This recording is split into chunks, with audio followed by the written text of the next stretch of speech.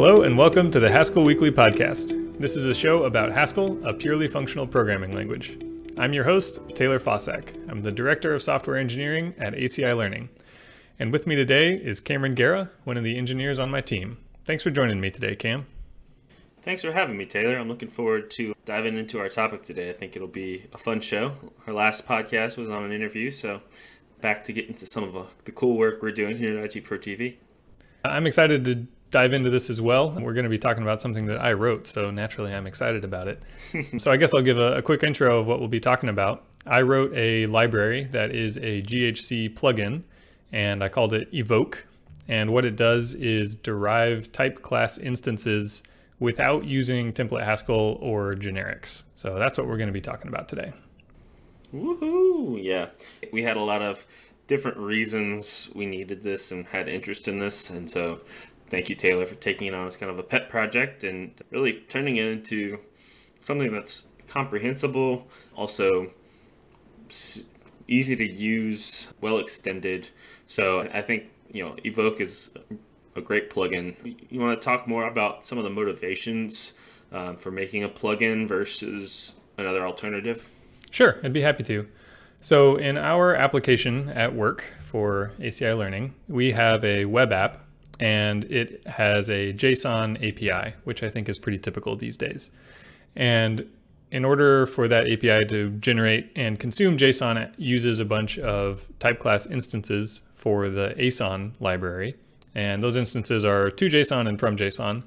And a couple more that we've thrown into the mix recently are to schema, which comes from the Swagger 2 library, and arbitrary, which comes from the QuickCheck library. And we have these four instances, and usually we define, if not all four of them, three out of four of them for a lot of our data types. And we do this so that we can emit JSON from our endpoints, we can consume JSON from our endpoints, and we can generate an API specification that describes what those endpoints either take or emit. And then we can also generate arbitrary values of those so that we can test to make sure our encoders and decoders actually match the specification. So that's a quick overview of our specific use case, the type classes we are using and why we're using them. Right. And I think to kind of, I guess, share some of another big, big benefit, which we'll cover more in detail later, is using Evoke keeps those four instances you were speaking of in sync. So you're not uh, deriving one via something else and deriving one for another thing. We started to hit some hiccups with that. And so that's another motivation for this the pains and, and headaches that that could cause every once in a while. That's absolutely right. And I wanted to touch briefly on our history, both here at work and for me personally, when it comes to writing or providing type class instances. And I think it's pretty typical when you start programming in Haskell, and definitely when I started programming in Haskell, I usually wrote the instances by hand. And this works fine if you don't have that many instances to define, you don't have that many types, or your instances don't need to agree with each other. But things get a little trickier when you have a lot of types. So for us at work, we have over 400 data types that we need to derive these instances for. We have more data types than that in our code base overall, but only a subset of them are affected by this plugin that I wrote. And also, like you mentioned, we have to keep them in sync. So if we have a from JSON instance and a to JSON instance, those need to agree with each other, usually, not always, but almost all the time. And if we also have a to swagger type to generate the schema for it, that needs to agree with the other two. So writing them by hand gets really tedious because then if you want to make a simple change like updating one of the field names, you have to update it in three places. And remember to do that. And usually, or I should say by default, nothing will make sure that all of them agree with each other. You have to go write a test for that thing, which isn't the end of the world, but it would be nice if you didn't have to do that, right? Right.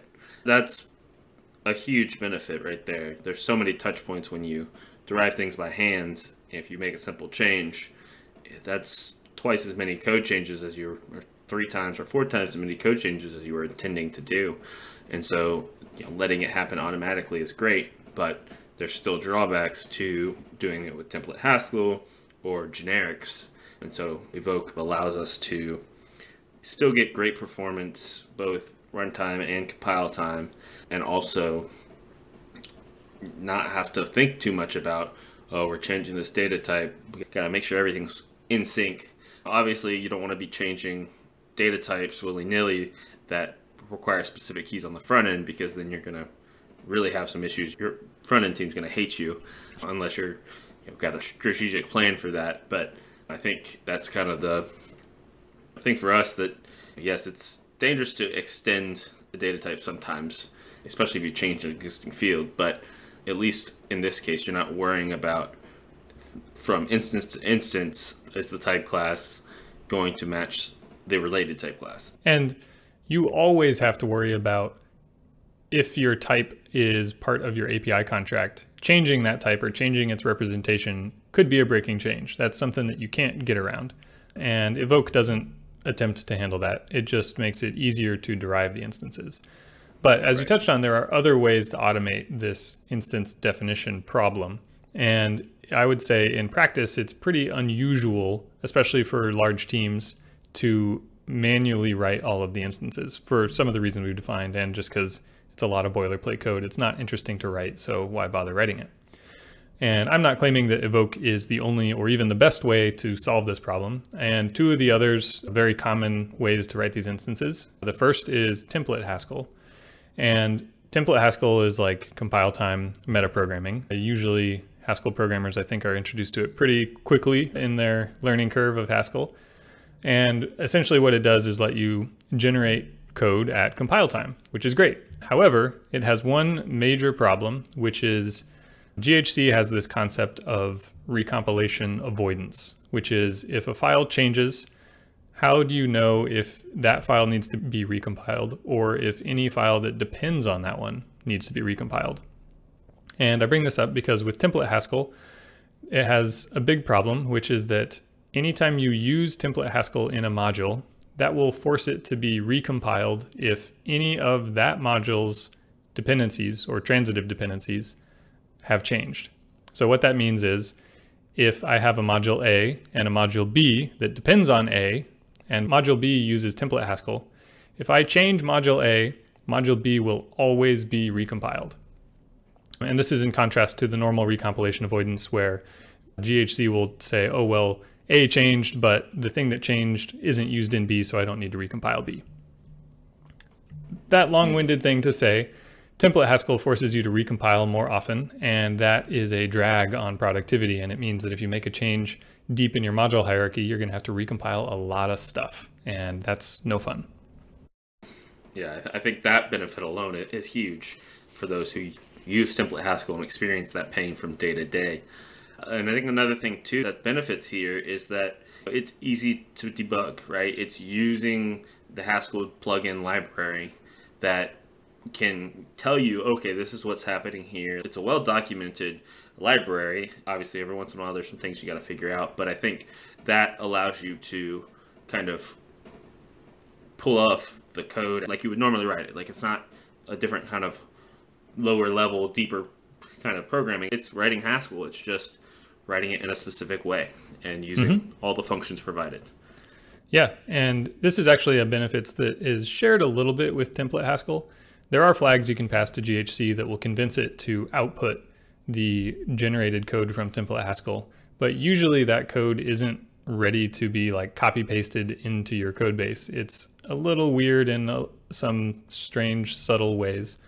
But I mention this because with Evoke as a GHC plugin, it generates source code and you can pass a flag to Evoke and it will tell it not only generate the source code and insert it into the source tree, but print it out to standard out so that you could use Evoke as a kind of code generator to say, I'm going to write out my type and then I'm going to tell Evoke to make the instance for me but I'm only going to do that the first time. I'm just going to copy paste it from Evoke's output and put it into my source module, and then I won't have to deal with it anymore. And both of these approaches, the template Haskell one and the Evoke one, are in contrast to generics, because generics is the other way to avoid manually writing your instances with Haskell.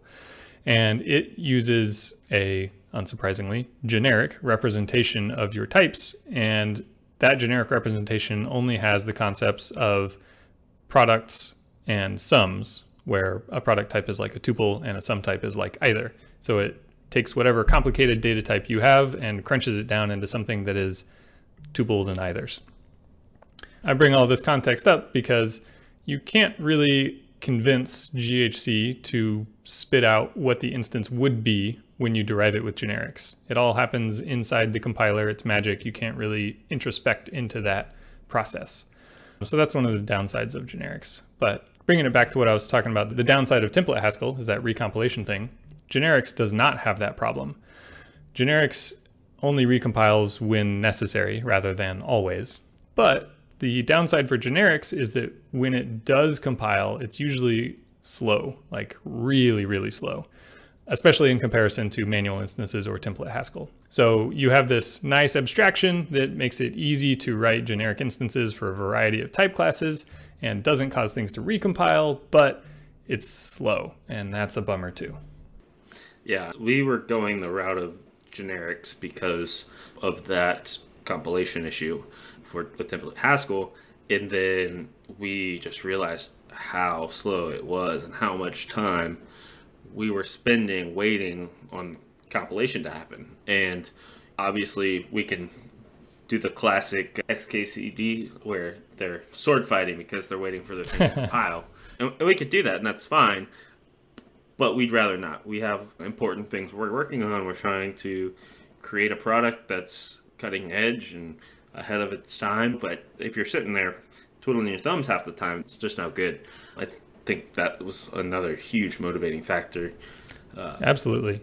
Yeah. And generics being slow isn't necessarily a problem. Obviously, if something compiles faster and gives you the same result, it's going to be better that it compile faster. Like nobody wants things to be slow.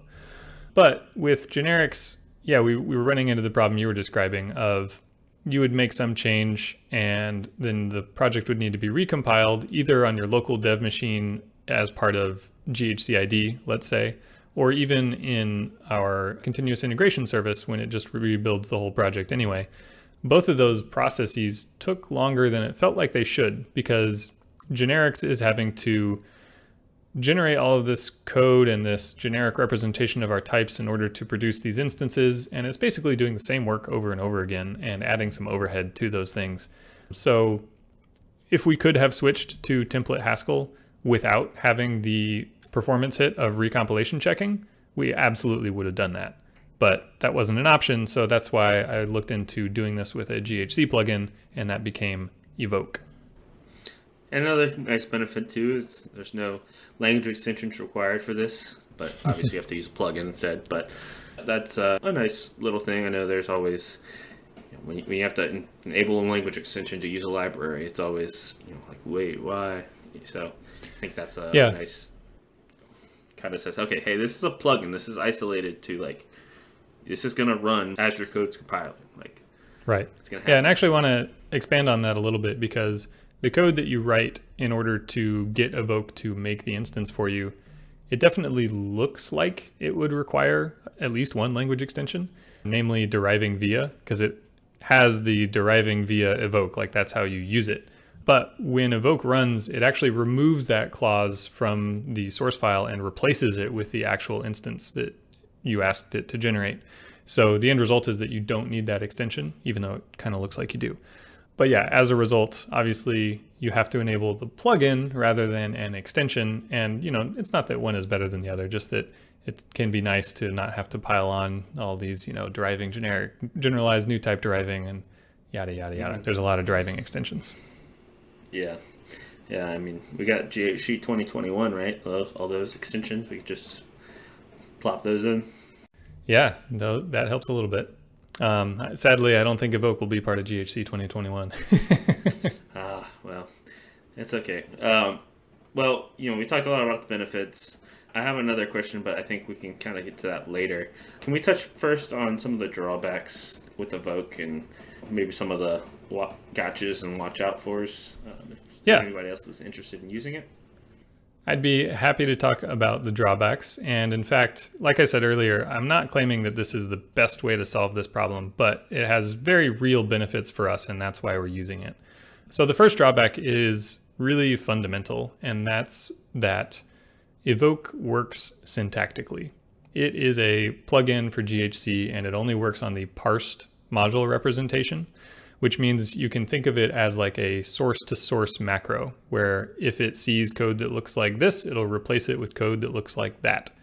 And this is simple, but that also means it's not very powerful. And in particular, this means that stuff doesn't get renamed or type checked and that evoke isn't dealing with the renamed or type checked version of the code, which if you're not already familiar with the GHC parser or compiler passes that may not mean anything to you. What it means is, let's say you define a type alias called optional that is just a type alias for maybe. Evoke has some special logic in it looking for the word maybe and it says, okay, that's an optional field, I'll treat it special. If instead of using maybe you used your type alias optional, evoke wouldn't work properly for that. It wouldn't do the same thing. And that's the downside of doing a syntactic plugin. If instead it were working on the renamed source, it would be able to find out that, oh, this was called optional, but it is actually the same thing as maybe, so I'm going to treat it the same. So that's one big downside. And as I currently see it, there's not really a way around it. Evoke could conceivably work on the renamed or the type checked version of the source code, but it seems like that would be a lot more challenging to pull off inside the plugin ecosystem than this syntactic approach. Yeah, and, and like you said, that being not dealing with the type system really, it's all syntactical. It's very easy to possibly use it wrong or expect some behavior and not actually get that behavior. Uh, so yeah, yeah, just just be aware of that. Uh, I think that's the biggest gotcha in my opinion. Um, you know, it's also very, you know, it's coupled to GHC pretty closely because it's in the GHC plugin ecosystem and mm-hmm. the parsed module system. Could you, for those who don't know, because I didn't know when we started talking about this idea, talk a quick, like just a brief, like, hey, here's the stages of the GHC parser, at least the first couple. Yeah, and uh, caveat up front, maybe I get some of these wrong, but this is all off memory. So when you tell GHC to parse a Haskell module, it goes through a bunch of different phases. And I think the order of the phases is that you start with literate Haskell and turning that into regular Haskell. That process is called dlit. And then you take that Haskell file and you run the C preprocessor on it if you have that language extension enabled. And then you have like your actual input source file. So you lex and parse that, which happen as effectively one step.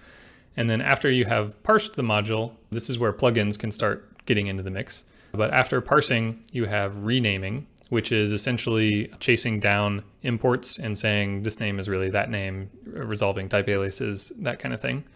And then you have one of the more heavyweight phases, which is type checking to make sure that all of these expressions make sense and pass the type checker.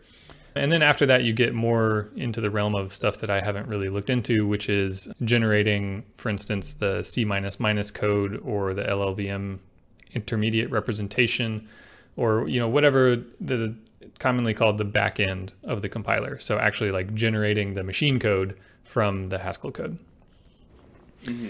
So that's a, a very brief overview of the phases. And as I mentioned, evoke happens after parsing and before renaming. So that's pretty early in the process.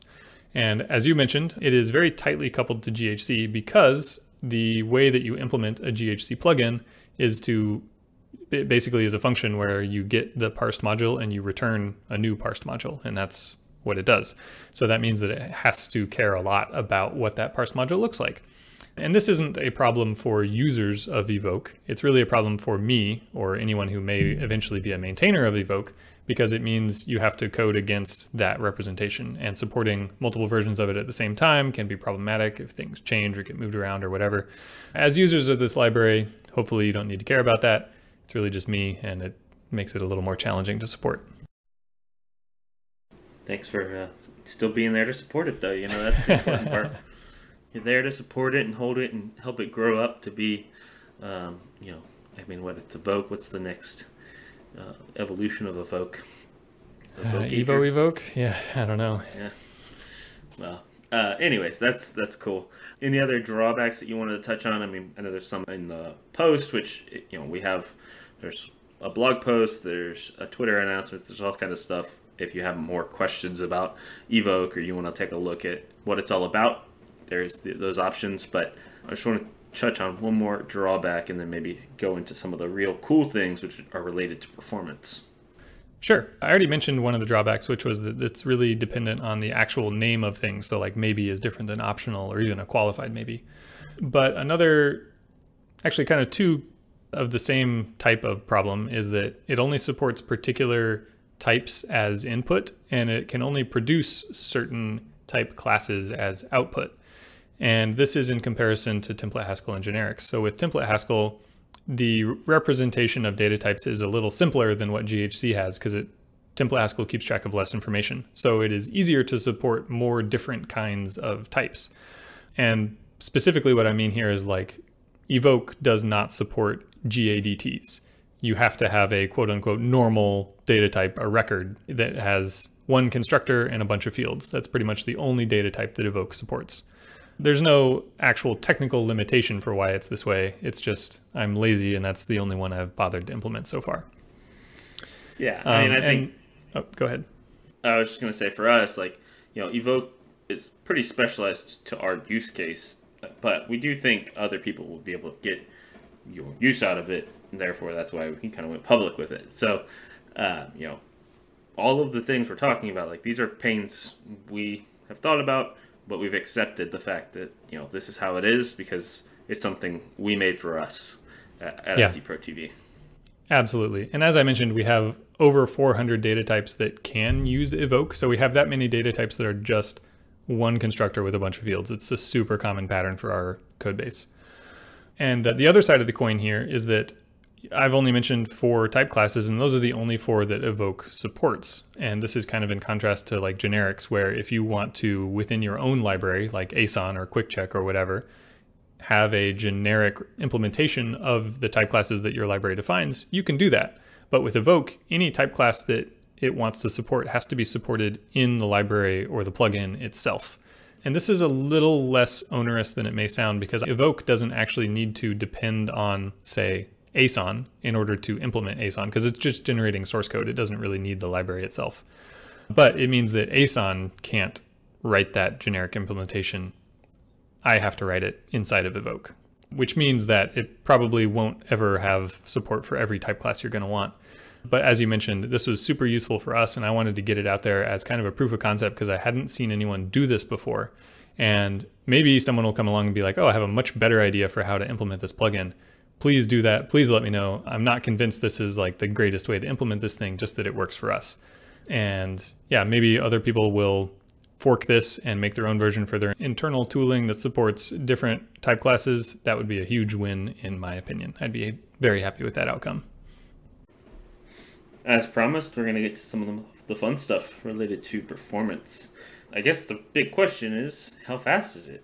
You know, it's, we, we did all this because if we had slow compile times, like what was what was the increase? What was better?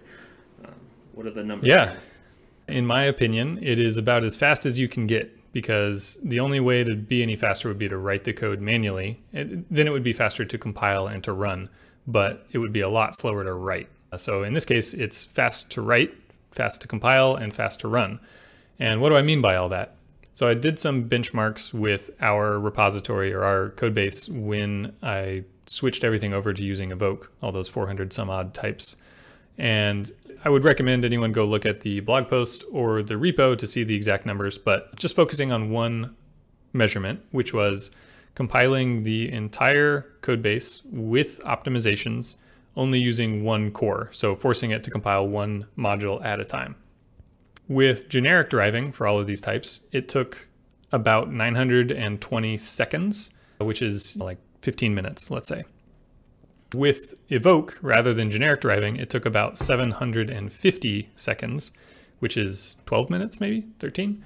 So uh, that's three minutes of wall clock time that we saved just by moving away from generic deriving. And obviously this is not a completely realistic benchmark because almost all of the time we're compiling with multiple cores to mo compile multiple modules at the same time. But I wanted to see, you know, what's the overall impact of this approach. So that comes out to being about 20% faster. So if you have a lot of data types in your code base and you would like to compile it 20% faster, consider using Evoke. the shameless plug. I love it. Awesome. yeah. If you have more questions about the numbers, like Taylor said, check the blog post out or the repository. So, what's it take to get set up using Evoke? Like, what's that look like? It's pretty easy. I had one more comment on performance before we move on, which is that the runtime performance. I don't have hard numbers for this because it's very challenging to say like this type class instance is X percent faster than that type class instance when you're comparing generics versus say template Haskell or evoke in this case. And I wasn't super interested in writing a micro benchmark like that. But what I did instead was we deployed this and then two weeks later, I went back and looked at our metrics for how quickly are we responding to requests, how much RAM are we using, and how much CPU are we using. And I don't have any hard numbers to give you from that, but the overall result was that we were responding a little bit quicker and also more consistently fast, meaning we didn't have big outliers that were very slow. And we used less RAM